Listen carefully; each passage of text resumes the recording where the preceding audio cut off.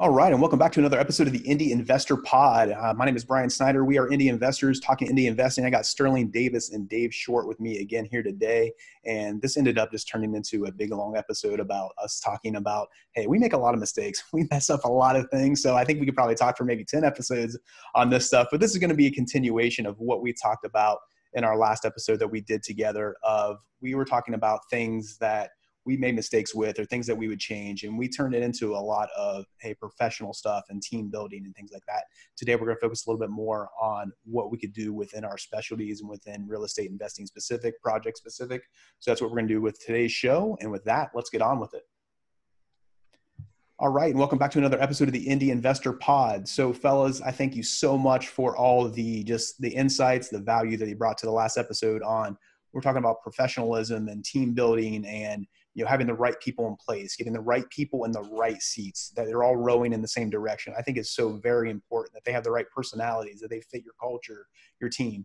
So much value with that kind of stuff um, and i know right when we got started i was like okay we can talk a lot about this stuff and which is usually the case with us three um, and then we can really kind of with this episode i'd like to kind of get into a little bit more of hey within our specialty specific or within real estate specific on projects and things what are some of those mistakes that we that we've made along the way that we've learned from and we can bring some value to other people? Because they're going to come across uh, come across these same things or have to make certain decisions that we've already made the mistakes on so if they can learn from us.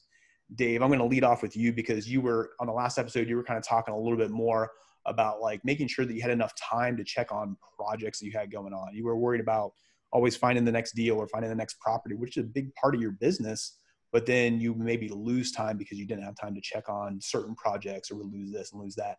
So when you're talking about that on on maybe kind of making that mistake or learning from that of how do you how do you do that then to find enough time to check on all your projects to make sure you have the right the right things going on and you have the things you you basically know what's going on with your projects.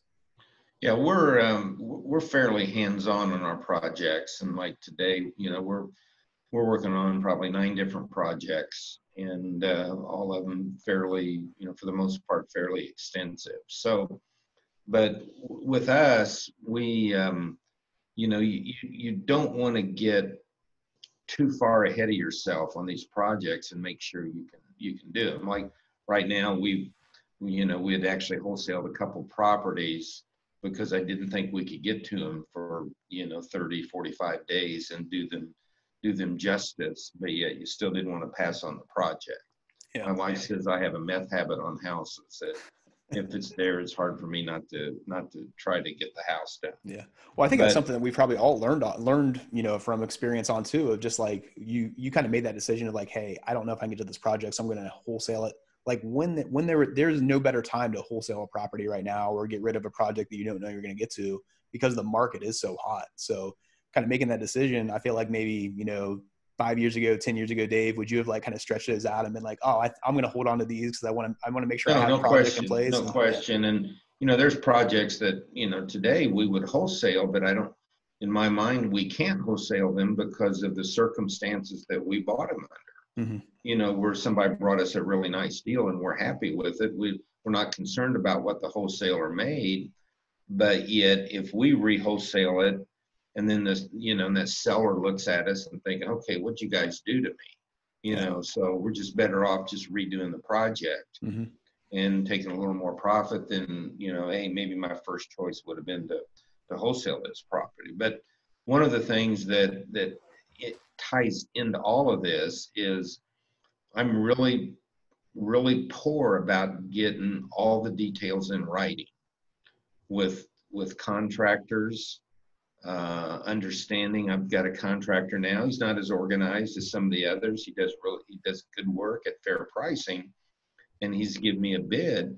And I have no idea, you know. And I'm I've I've battled him for four days now. I said, all I I'm happy with your price.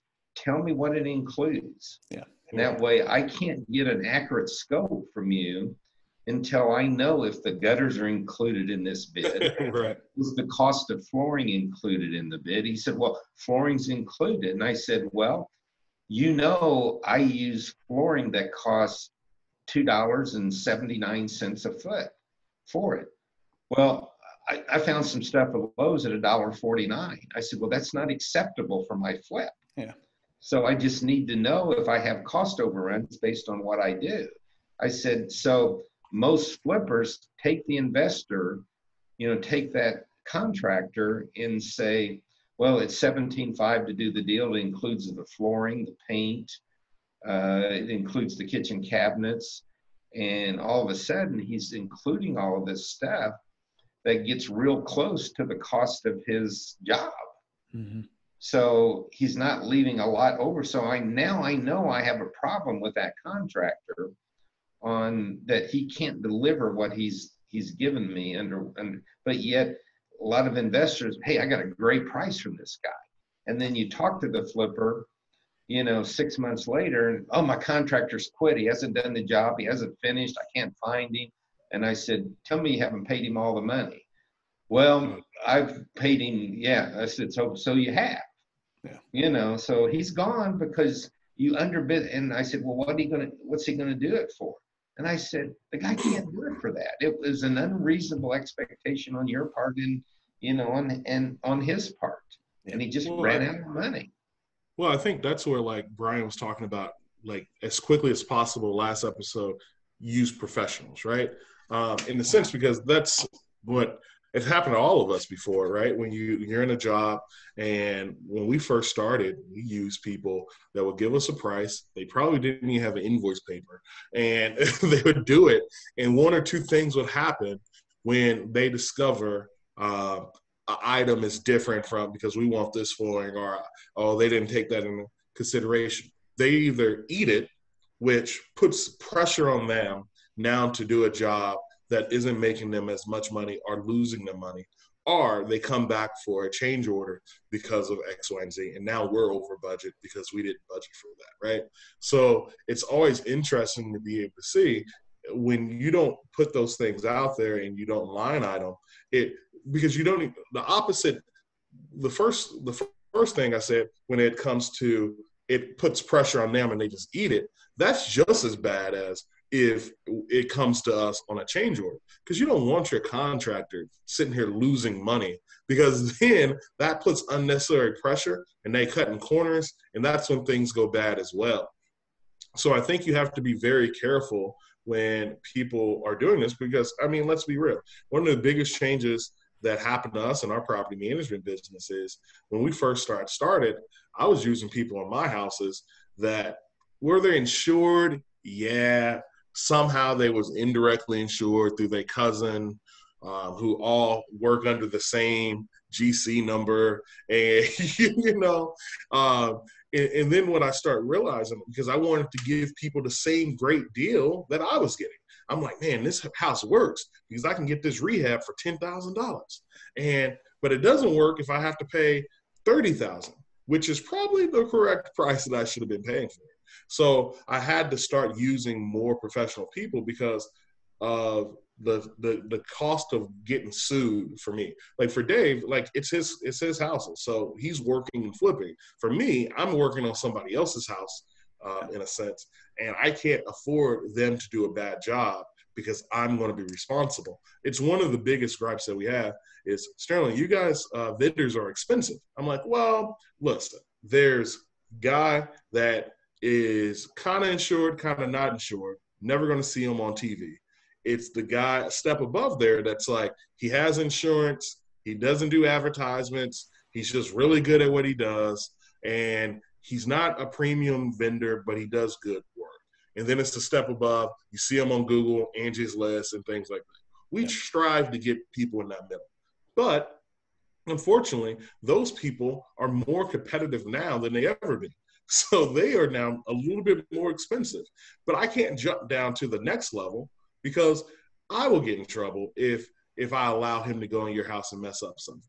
So I think it's interesting to be able to see that dynamic um, for just that the using professionals um, to be able to do your job now. Versus, well, you have to vet, you know, and vetting vetting your contractors. You know, my biggest key to vetting is when I'm hiring somebody new, besides the references, I want to meet him at a house and walk through a current project that he's doing. So, and I want to see what's his estimate for this. Where are you at on budget on that house? Yeah. And I'll always go like an hour early so I can bullshit with his help. Hey, Brian, great to work with. What's you know, what's the deal here? Is yeah. you know, is is the you know how I said, when's the last time you saw Brian on the job? So, well, he was here last week, I think.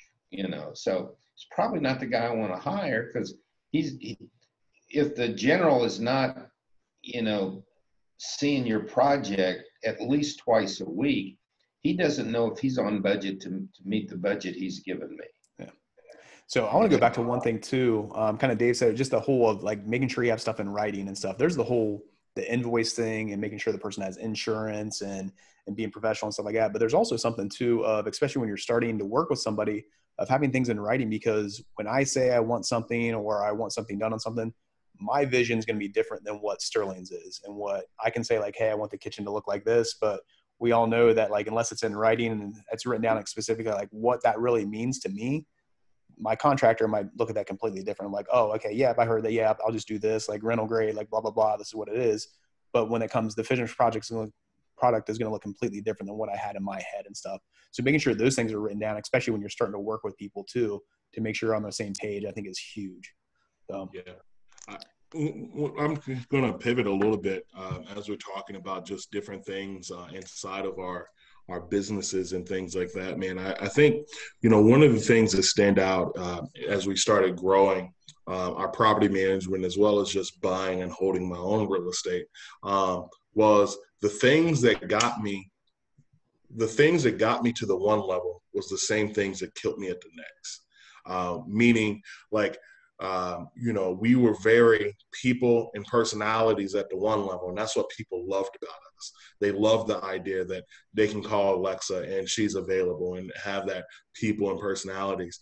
Um, at the next level, it was about processes and procedures, right? Like, so the the peoples and personalities is the thing that people was kind of upset about because it's like, listen, like I'm talking to her all the time and I'm talking to Sterling all the time, but what is the process to get us from one level to the next, right? So I think it's imperative to not lean on um, like you know if there's seven levels into uh, you know an organizational chart inside of it whatever has that you're great at now can't be the thing that's going to take you to that next level. And you know for us you know it's some of those basic tools um, you know that i think you have to identify. We talked about last episode when it comes to bookkeeping. You know when do you add a professional bookkeeper versus when do you not? Because let's be real i mean profitability is the we want to get to profitability as quickly as possible. Most companies, profitability is the number one thing that we want to get to almost immediately. So uh, for us, we we the things that we were doing when it came to virtual bookkeepers and um, you know virtual VAs that were handling certain segments of our business, we couldn't keep those things going uh, for us to be successful we kind of had to pivot and get a bigger bookkeeping company that was going to be able to take our our, hard copies of everything and really hold accountable our vendors to be on a pay schedule and, and things that are going to help us grow. But those things worked for uh, us when we initially got here. You know, I mean, we were the cool people that had VAs and we were working quickly, um, but those are the same things that killed us when it comes to future growth and opportunities and losing clients because of not being able to have true capacity of uh, of it and as well as being able to get answers quickly enough to those people. Yeah i think it's sterling do you good. i was going to say sterling do you um, do you feel your vendors um, the people that work for you do they have to be do they have to be successful? Do they have to be like-minded like yourself? Um, it depends on what you say because, like, I mean, I, I work with a lot of people that aren't, you know, moderates uh, on a political level and maybe not Christians, right? you know, um, but I, I think it has to be a certain integrity in everybody's job, right? Like everybody knows their role. Um, you know, I, I like the idea um, when it comes to um, a certain belief. Um, and I think you have to be a hard worker. You know, I, I hired a young lady last week, and um, yeah, my uh, my team was kind of split on her. To be honest, she's going to look at this and be like, "Oh my God, uh, that's what they thought of me." But I think it's it, it helps people. Uh, it, hopefully, it helps or blesses somebody by this, right? So um, we were kind of split. Like I, I wanted her. The number one reason why I wanted her um, was because number one, she had a desire to be there. Like she wanted to be part of our company. Like her desire to be part of our company and her research that she did to be part of our company was something that was unmatched. Um, the second part, she she she was willing participant to learn. Like for me, with those two traits, I can have that person run through a wall because she has a desire and she's willing to learn. It's not, you might not even be good for this position, but this person I can utilize in some way. So, you know, the people on my staff was like, well, I mean, they had some other issues. They were like, well, can she do this? Can she do this? I said, listen, with the right training, and maybe that's the vision in, in me, right? Like I can see some wrongs, and I'd be like, listen, with some right trainings, this can be Michael Jordan, right? Like we can polish uh, things up. And I, I think it's so interesting to be able to build your team. Well, once I, I mean, when I've had contractors, and maybe they're doing a good job, maybe they're not, but I saw the way they were treating their employees. You know, Amen. thinking this, I, am not happy here. I, I, I don't want to do this. You know, when I had somebody, you know, managing, you know, it's like, okay, just not, you know, you're, you know, if you can't treat, if you're if your contractor can't treat his employees properly, he's not going to keep them. You know, he might have the best team in the world today, but if he's basically dogging them all the time, they're not going to be there because they're in demand by you know from somebody else. And those people aren't loyal though, Dave. Like those people that if you don't if you don't treat that person right, then why are you going to treat me right in a different situation, right? So I always look at those cues. Like I, I feel like if you're mean to somebody else, you're going to be mean to me. Like you know, so I think it's important to make sure the people that you're working with and you're building these teams that you kind of identify those qualities. I'm one of those people with my team and stuff like that. I often just sit and listen to them, interact and stuff like that, and they don't realize what I'm doing because as the vision person, I need to understand. As we talked last uh, time, I'm looking for a facilitator and I have to make decisions based off of do I have that person in this uh, in this office right now?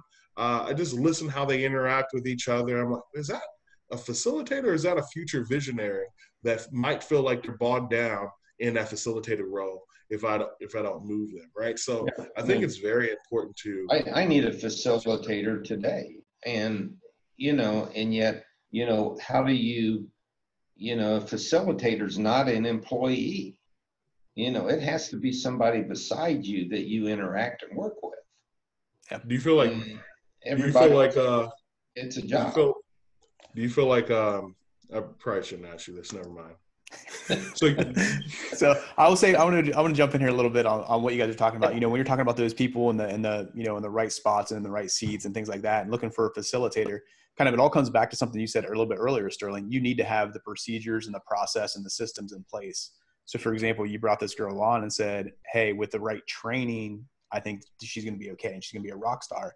But do you have that training in place? Or when you guys are looking at the facilitators and stuff like that, if you don't have, you know, if you don't have the process and procedures in place, you need somebody that will put the process and procedures in place for you to carry out your vision and be able to do that stuff. So it's kind of when we're coming into, you know, just the business in general and things that that you need to change. We're, you know, the big overwhelming things that you guys are hearing are having the right people, the right team around you with the right vision, the right things that that you believe in that they're carrying out as well, the right process, procedures, and systems and everything like that in place as well.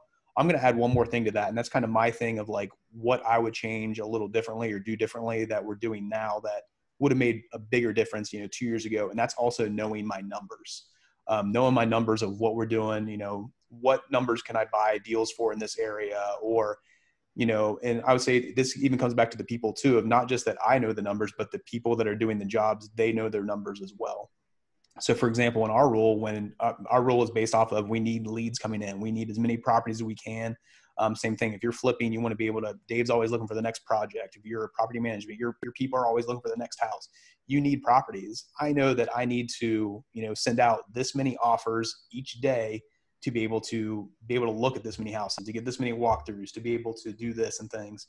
So knowing your numbers is very, very important, but also that your team knows the numbers as well. So when I'm looking at those team members and I say, hey james how many walkthroughs did you do today or this week or how many offers did you put in he's like oh i don't know i think about no there's no i don't think about you need to know how many offers you did you know what it is and things like that because it's all a math problem to be able to get to be able to sell you know 25 properties a month i need to be able to get this many leads in. I need to be able to do this many walkthroughs. I need to be able to send this many offers. It's all a math problem. And all has to figure out. So knowing the numbers and that your team knows the numbers i think is one of the biggest things that a lot of people miss um, really in all of our industries across the board because we need to know what those numbers are to be able to be successful and be able to back up kind of what we're preaching and things. I know with us too, when it comes to marketing, I've gotten this mistake of where I'll just like throw some money at, you know, to do some marketing, just to try something different to try to generate more leads. But where was where was my analytics behind what what was that was my decision to do this? Okay, to be able to justify spending this amount of money, will it generate this amount of leads? Okay, after three months it doesn't, cut it off. We don't want to do it anymore. So knowing that, I think knowing the numbers is that kind of that third step to everything we're talking about, and so very important to all of our jobs. Yeah, I think I think also you have to, if I can add to that, I think you have to be able to trust the numbers and, and mm-hmm. make sure you don't manipulate the numbers. I, am I'm, I'm faced with, and this yeah. is what I'm talking about uh, on the buy and hold side is because at the end of the day, sometimes as a buy and hold investor, it's it's similar to what I talked about the first episode um, when it came to I didn't know that I was a business person until I got a huge office, and I didn't know if I was a business person until I got the right car, which is all false, right?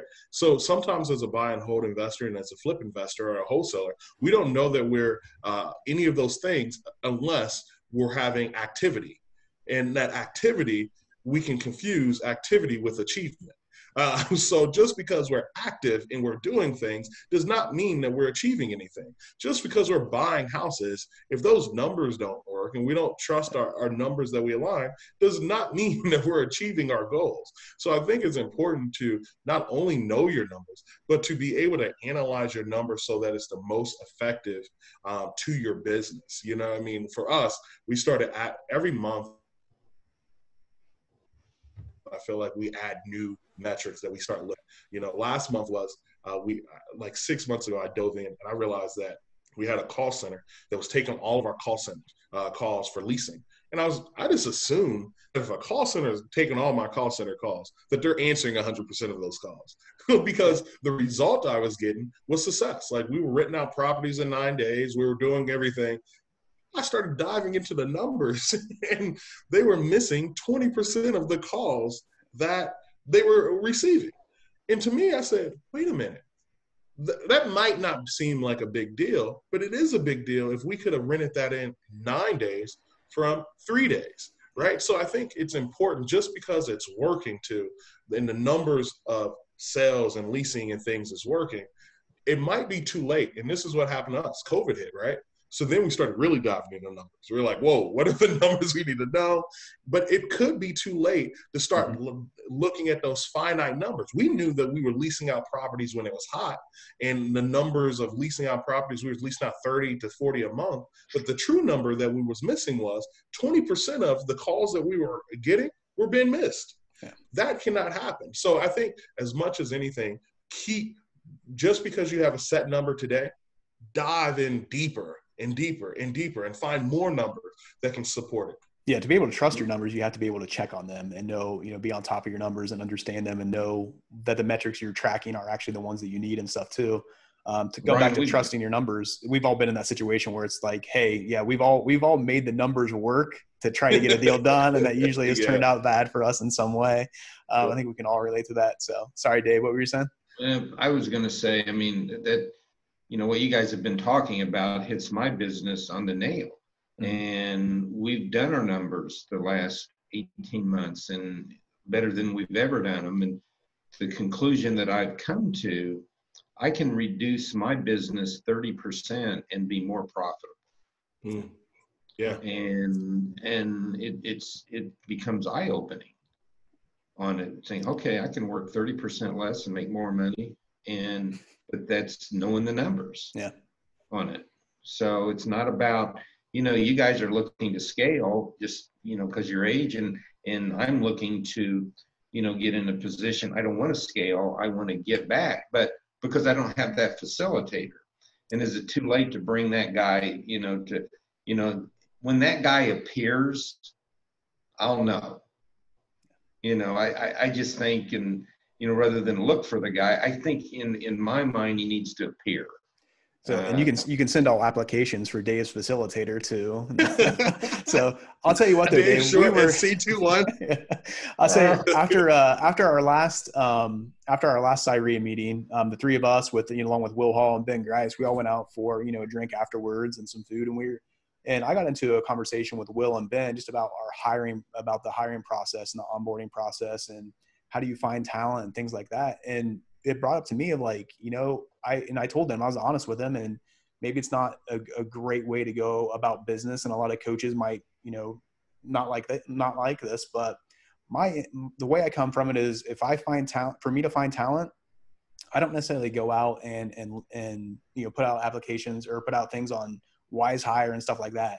I go out there and find the talent that I want. Um, so if I want, if I'm looking for a salesman, I'm going to go to you know a car dealership and find those find out somebody like that or you know go to different meetups and find that guy that's hungry that that knows the business already that's looking for that next level that next step. So i'm kind of in that position and kind of what you said like they're going to appear they're going to come out. That's what that's the way i look for talent and say hey I, I i think this person is great. I just you know find somebody on facebook. I'm like man i really like the way that this guy carries on a conversation on facebook it seems like he knows what to talk about. I'll go out you know buy them lunch and just pick their brain and see if it's somebody that i even maybe six months from now I'm going to need somebody, I can reach back out to them and say, hey, this is the person that I want on my team. Um, so that's kind of how I handle that and stuff. But and, um, and I think you know I think just learning from you two, and I thought that was a great discussion that you guys were having um, because you know it broke down even from the personality trait of you know why you as a teacher work so well as a facilitator, right? Like you know I mean. So th- that was a pretty cool discussion. But also, I thought what I found, what I take from this, as well as learning from Dave over the years, is is the idea that you have to pay somebody a very like it's a very narrow like Dave call it you staying on a rail. Like the rail is you pay somebody just a salary and they do their job. But I love the ability of like a Dave Short or yourself and the being able to say, all right, I know this is the need I have how do I get this completed and how can I fund this way of getting them done? Um, so I think a lot of times with myself beforehand, I would say, well, I can't afford to hire somebody right now. I'm only making this much money. That would take the profit that I'm making. And I think it's it's it's amazing to be able to talk with gentlemen like yourselves, where you're so creative in finding ways to to to pay people or come up with means in which they can come onto your team. Yeah. So you brought up, so we've talked about a couple things here. We've talked about people, we've talked about systems and processes, and we've talked about knowing your numbers and things like that. You brought up a point of like, I kind of, let's talk about this one last thing. And I think it's something that we've all had this transition of and just a new appreciation, appreciation for, and that's our time of how valuable our time actually is to be able to get stuff done, to be able to build our business, to be able to grow your business and things like that. And I think that's something that I feel like a lot of us would change the way we've done it over the last however many years because now we look at our time so much more valuable. You just brought up that point of, you know, oh man, I can't pay somebody that's gonna that's gonna eat into that. But really, I look at that now. I was like, man, if I pay that person this amount, I get this much time left. I can grow. I can work on the business versus like Absolutely. working in the business and stuff. So I, I, I, bet time is one of the first things. If you know, probably it might not have been on our list right away, but we're all thinking about like, oh yeah, this is something I would completely change, and I look at it completely different than I did when I first got started. Of how valuable your time is, and looking into of like how can I get more time to work on that business versus like you know on these little things that I'm doing each and every day of this admin stuff that I don't I'm not good at anyway, and I don't want to be doing and that type of stuff. Well, no, I mean, I just I, it's so funny. Like I, I, I piggyback it all the way back to what Dave was talking about in the sense of he scaled down his business and he made thirty percent more revenue. Uh, it's very similar in my business. I look at uh, when I was at hundred doors, I was more profitable than when I was at three hundred doors, and I was less busy. So my time, if you